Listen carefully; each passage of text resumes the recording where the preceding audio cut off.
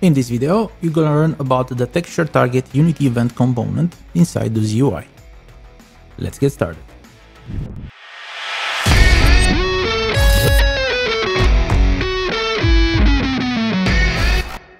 The texture target Unity event component is linked to the theme management system in, inside DoozyUI, and it allows triggering a Unity event with a texture parameter wherever the variant, the, the active variant changes for a theme. To add a uh, texture target Unity event, right click on hierarchy, Doozy, themes, targets, and here we have texture target Unity event. Right now, my theme doesn't con doesn't contain. I have a custom theme called my theme, and it doesn't contain any textures. So let's add one. Let's say my texture.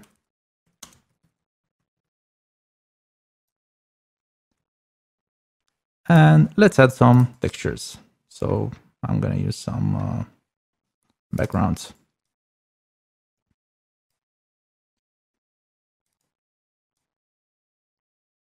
And something like that. One more. Mm, let's say this one. All right.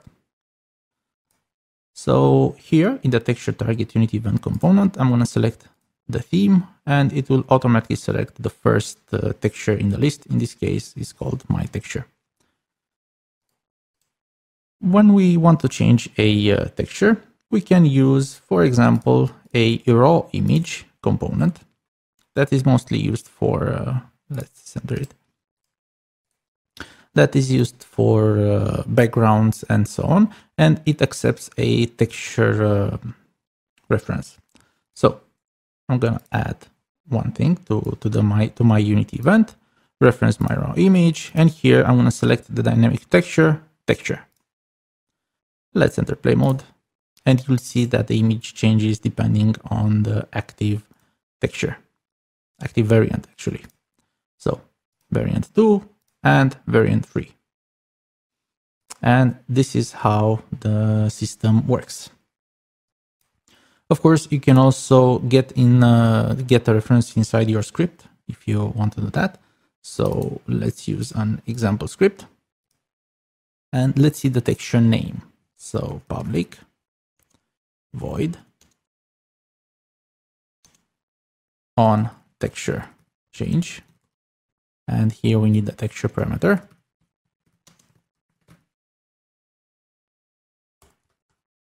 And we will check that the texture is not null in case we didn't reference anything and return. And otherwise, we would like to see the texture name in the console. So debug log, texture, and let's say texture dot name. Let's save this and let's go back to Unity.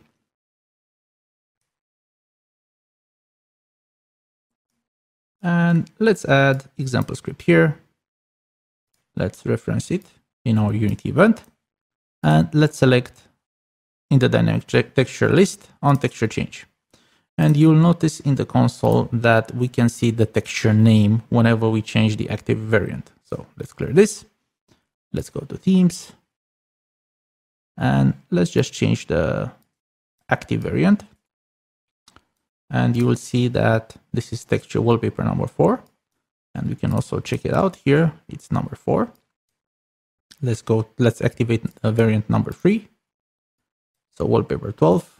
And this confirms that this is the actual texture name. So this is how you can you can also uh, get a reference to it in uh, in your code.